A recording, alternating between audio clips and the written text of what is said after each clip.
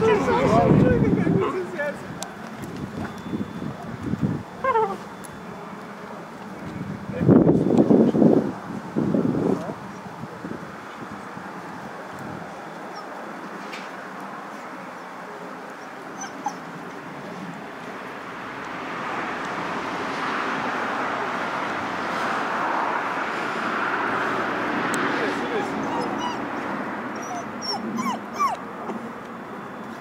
Onako malo to da oni vide krpicu.